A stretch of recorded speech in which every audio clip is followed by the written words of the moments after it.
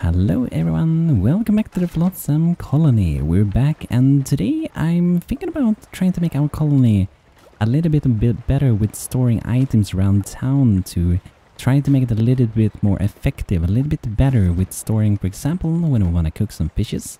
We want to have the raw fishes nearby and we also want to store the cooked fishes nearby which reduces the running around the town and uh, making our people work better pretty much. So we already started with a few things. So over here we want to keep a few fishes. We can also keep a few more of them, so we can add the most of the fishes. And here we'll be grilling them, and here we will be washing them. And we also have one over here, which is a little bit far away. But we can also store some fishes nearby to this one, so we have to figure out which one do we have on have here. We want to have gobbler fillet and seaweed sheet. We want to have flounder fillet Unbottled fillet and seaweed sheet. Okay, so let's look into this one. Let's remove everything to start with. So here we have seaweed sheet, unbottled fish, unbottled fillet, grilled flounder can go there. Then we have unbottled roll. And here we have gobbler roll. So we're gonna store them inside here as well. And we also want to start quarter flounders. We can drop the foods here really quickly. And we also want to have flounder fillet. So now we should be able to cook whatever we need to cook from these items in here. And what we can also do is to uncheck those things for other buildings just to make sure it's gonna be better. And the best way for that might be to actually set a lot of places to none instead. And then just fill in what we want to have there instead. So this one, for example, I do think we want to have I guess a little bit of firewood and a little bit of fishes. I'm gonna have firewood and a bunch of different fishes in this one. I'm just gonna have a lot of different ones. But we're not gonna store any like, um, I guess we could store a few of those. That could be good. And a seaweed sheet as well. That's gonna be quite good. We have a lot of storage to go through to do these things. But I think it's gonna be worth to do. So in this one we are doing firewood and planks nearby. So this one getting some planks. And we have another one over here where we're doing firewood. We may want to store wood close by. So in this one, let's have, so we only have... Let's only go dry wood and we can also go firewood. Or maybe only dry wood and wet wood. Let's go with that. The problem with this stove, we have to keep in mind that we st still should have a few storage places around like these over here, where we will pretty much drop anything. Except for a few things. We don't want to have the cooked food over here.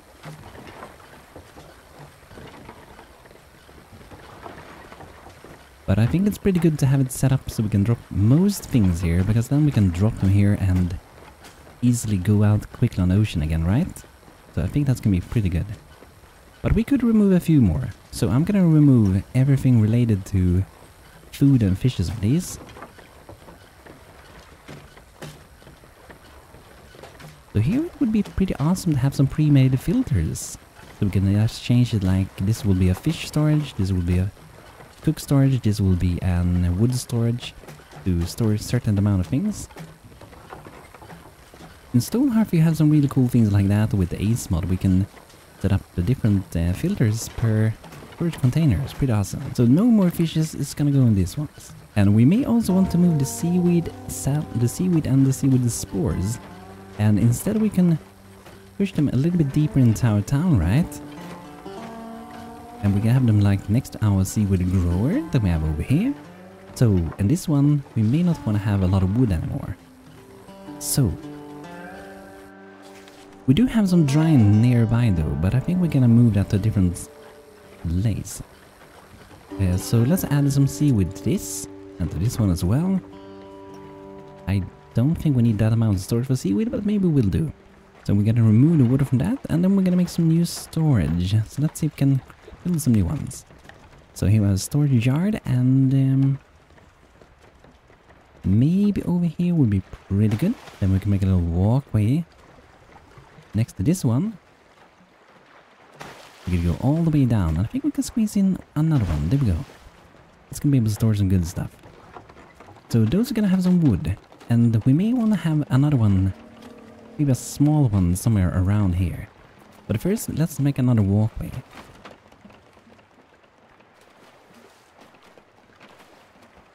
So maybe something like that, and then we add in a little storage container, and this one can have some wet wood and dry wood, or maybe both, I don't know, we will see. Uh, but this one we can have one wet and one for dry wood. We still gotta make sure we have enough storage for anything. And uh, we have some very very thirsty drifters. U-boat and flow. It's really low in water, so we have to try to improve the water. We do have 11 waters now, so we should be safe for the next day. We should be pretty good. Food-wise, it looks like we're okay as well. We do need to have 8 water, 8 food every day now. But I think it's also time that we move our boat a little bit. Towards our little seagull friend that we were gonna rescue far over there. Uh, but let's see, this one, I don't think I've been to one of these, have I? Wrecked cars on the rocks, but it looks like there's like big truck on it. So I'm not sure if I've been to one of these. I may have been to, but I don't really remember it. Oh, here it is. Wrecked cars on rocks. I don't know, this doesn't really look like some rocks. It looks more like an bridge to me, right? Uh, but this one anyway. There's some metal things on it. They had it coming, clouding up our sunny sky. At least they help us survive now. And this one has some metal and also and generators. That's really good. I'm just gonna send one boat over though, that's gonna be good enough. And uh, we're gonna gather some more plastic, we're really low on that now. But we should be safe on water today. Got some two boats to that one, do we have some fishes? Yes we do. And we can send two fishermen to that, and I guess we could collect a little bit of wood over here. We always need to have a little bit more wood. That's gonna be good, and you see they ate a lot of things. But now the water level should have gone up a little bit on our people. Yeah, one more little dot on them, so they can be happy little drifters. But let's see here, firewood, we have a lot of firewood. Uh, let's see, we may want to decrease that now again then, because we have way too much. We have to set it to 40, that's a little bit overkill maybe. Let's put it down to 20 again and see if that's going to work. I don't want to spend all of my wood on that. And we don't want to work with things if we don't have to work with them. We gotta be careful with our workforce as well. They gotta do things that matter most of the time. Oh, we can do another solar panel. That would be pretty awesome. Yeah, let's do another one of these. This one. Um, maybe we could have it over here.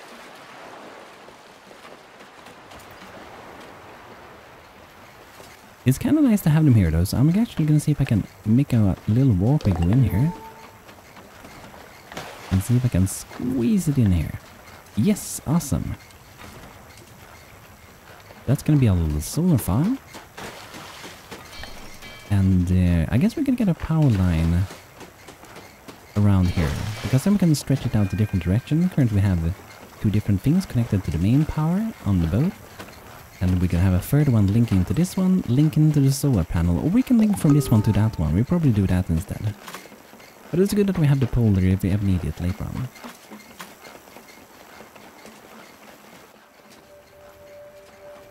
So let's see if we can do some more food. We don't want to have people starving tomorrow, and I currently don't have to on maintain these things.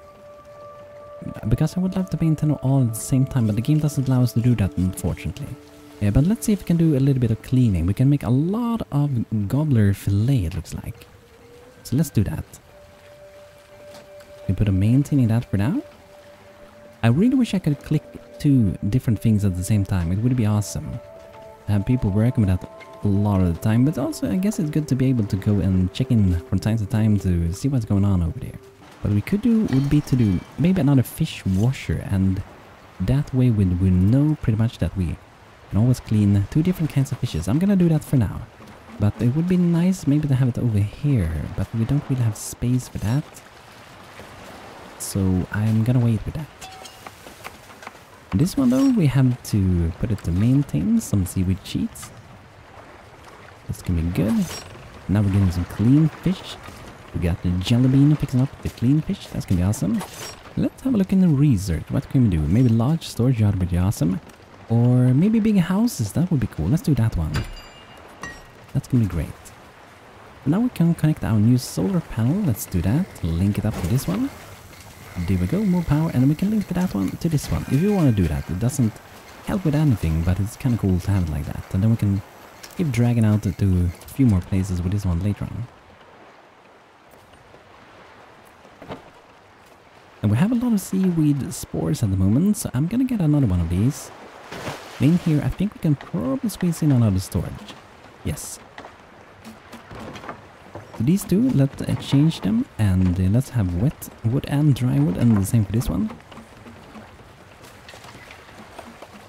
And on this one, let's do the very same thing. There's a lot of fishes on these ones. I'm gonna get them to go over to our other storage places. Hopefully pretty soon. And over here, I think we're gonna do another storage yard. We can space it in exactly there.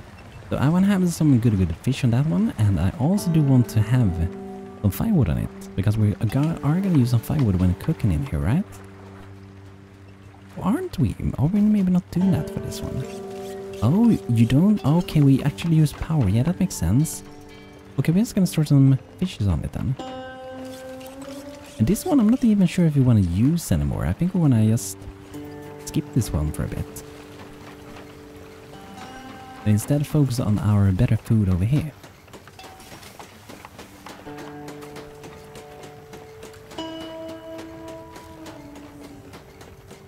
The water is pretty good at the moment. Picking up solar still, we need to get a little more uh, floaters and planks. But it looks like we're getting some, so let's send maybe one more boat over there. And uh, I think we're gonna move our boat after we collected all those good things. Because I really want to get our little seagull friend, but we have to make some food. I think I made a few for him though. Yes, we, there we have some bird chow, okay. It looks like they can work the same. They can gather plastic waste and also wet wood. That's gonna be good to have another pair of extra wings to fly around, right? Gonna be awesome. And we do have an firewood over here to make firewood. Maybe we want to have another storage yard over here. We can store some dry wood in it, and maybe firewood as well, but mostly dry wood. And here we can squeeze in a little smaller storage as well.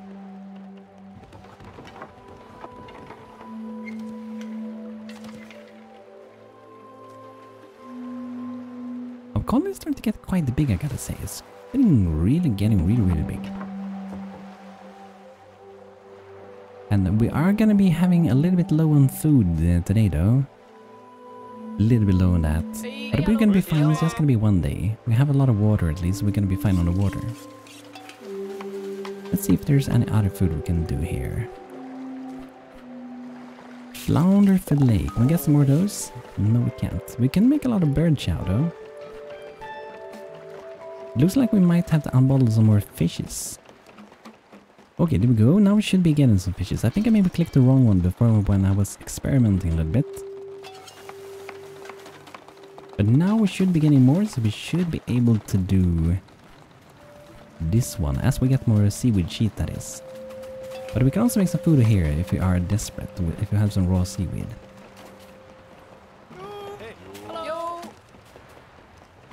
but let's move our boat. We're gonna go towards our little seagull friend over here. And uh, let's make a quick stop here by the shack town. That's a good place to get some unpolluted, great tasting food a good good food left over from before, you know, the flooding came around, right? So that's gonna be awesome. Okay, so that's gonna be pretty good. Okay. So here we have a little bit of wetwood as well, and here we have the beautiful little shack town with some good, good canned food. We're gonna send some two boats over to gather over there. Get a little bit more plastic waste, we're gonna need that. We spent the one we got recently very, very quickly. We gotta get a little bit more of that. I think we're actually gonna grill a little bit of food now because we are lacking a little bit of seaweed. So we're gonna wait with making this um, gobbler roll for a while and we're gonna go for a little bit more polluted wood for a while. Okay, we have established the shack town, awesome. Over here we have an polluted wood as well. Let's send uh, some boats over to gather from that. Should be able to get some good, good dry wood. And here we can do a little bit of fishing. Hopefully get some more flounders. That would be awesome. That's some really good food for our people.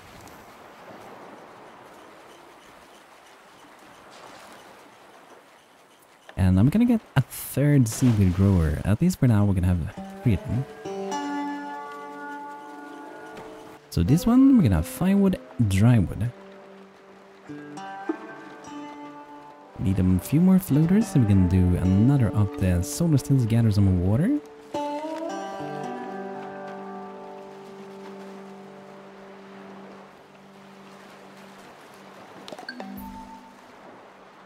Oh, that was really quick with the fishing. That went really quick. And that one is almost done as well. My people are doing such a good job, going around the ocean so quickly. Thank you, thank you, my people. So let's look around. I think we can move ahead now again. So, Seagull, I think they are over here. Yeah, over there. Awesome. I think we're gonna go straight for it now. Been waiting so long for my little seagull friends, so I really want to make a visit and get them to join our town. It's gonna be amazing to have another little friend join us. We do have some people to save, but they are quite far away. So let's see what we got here. Hello, little seagull friend. Look at him screaming for our help. Steven, welcome. Yes, I'm gonna save you. I'm gonna save you from this little village. Let's on a boat over to save him. Lone seagulls need friends too. Yeah, they do. Look at him. He wants to join us. Here you go. He's flying home to us. Awesome. Our first little seagull. He's gonna be a really good help for us. And uh, now we're just gonna make sure we are filling this up with food. So what we're gonna do is that we have this thing here. Taking care of our non-human friends. We're gonna have someone that prioritize doing that. And I'm gonna have maybe Maybe Alex, you can do that. It's just a task that they fill every now and then, so it doesn't matter too much. Look at them hanging around there in the buckets. So Steven have a little bit of food. If you guys want to name our bird, by the way, feel free to do so. But Steven is going out, getting some beautiful, beautiful, good, good wood for us. One at a time, but you know, having someone just fly around and gather a little bit here and there is pretty awesome. And it's kind of cool to see some other life going around, not only people, but also birds.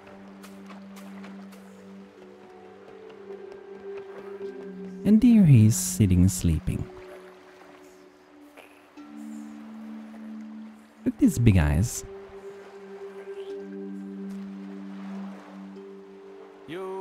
So it looks like we're not doing too good with food today either. So let's look around and see what we can do.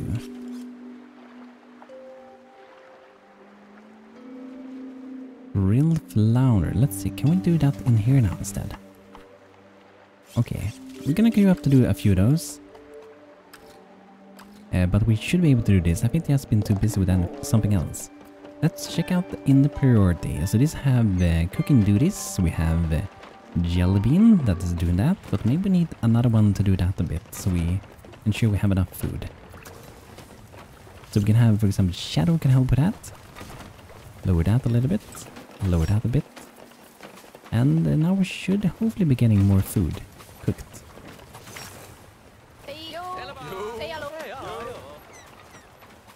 And pollution level seems pretty okay for the moment. No, no one of them is like really, really high at the moment. So let's see what we got here. We do have some seaweed, so I'm gonna gather gather that. Then we can make some seaweed sheets later on. Because this one do have some raw seaweed, which can be awesome. We can make that into sheets directly. And hopefully can have some good fishes today. I'm gonna send another fisherman, yes we can do it a little bit quicker.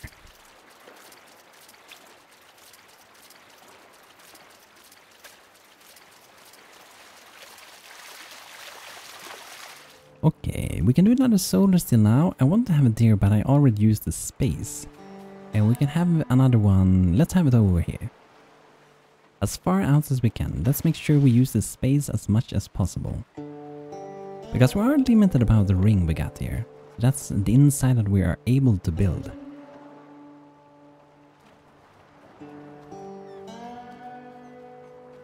We do have some seaweed over there as well. I'm kind of leaning towards going to a new world, could be fun, but let's make us a quick stop over here. They should have some food and a shack town over there. Some good good food is always welcome. There's a lot of resources here. Fishes, plastic, probably some metal, food, seaweed, and wood. So I guess we can stop here for a while. So do we have it set up for a lot of gathering? I wonder if I disable this one. I'm kind of thinking of that because I don't want them to work if they don't have to. When we have a solar panel and if we stay for a while, we don't have really have to work to produce power. So I think it's kind of good to turn them off from time to time. Because we don't want anyone working for no reason while we're generating power anyway, right? And let's see, I think we can maybe upgrade our houses. Did I re research it yet? Big house. Oh, okay, we need some more metal plates. We can do that in this one. We have a lot of metal, so we may as well start to do some of that.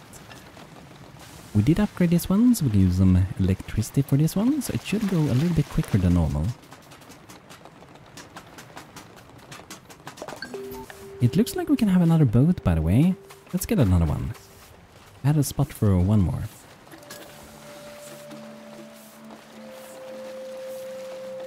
And we can upgrade one of our first houses to a big house. And that's to be interesting to see how that's to look. Let's take this one.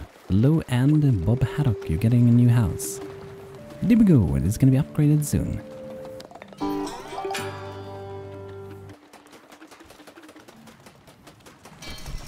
Look at that, a beautiful new homestead. A little bit of metal and it's looking quite different. Probably to be able to stand out against the winds and so on a lot better, I think. But this one can have three people instead of just two living in it. So that's cool, a little bit of extra space. But guys, this is gonna be it for today with Flotsam. I hope you guys enjoyed and uh, feel free to subscribe, like the video if you enjoyed, and I will be live streaming also soon again on YouTube and uh, it's most likely gonna be later during this week, maybe on Friday, we will see. But guys, thanks for checking out. Hope you enjoyed. And If you did, feel free to like and see you guys next time. Thanks for watching and have a great rest of your day. Take care.